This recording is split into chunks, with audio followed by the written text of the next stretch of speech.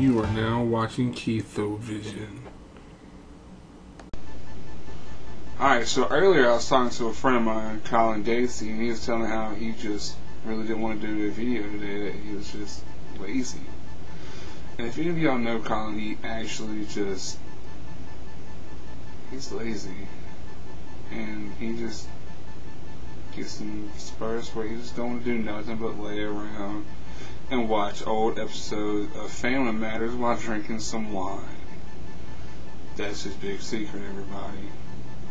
So, anyway, he asked me to do this. Said something about telling y'all that ninjas took over his neighborhood and forced him into captivity at, you know, some secret ninja hideout.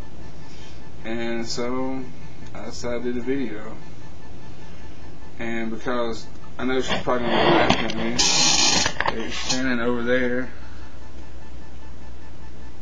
She's waving.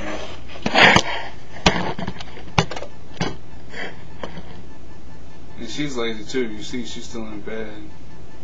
That's all she ever does too. Oh, wait, my bad. Ninjas got her too. So, I'm going to go ahead and go find something to do before the ninjas get me.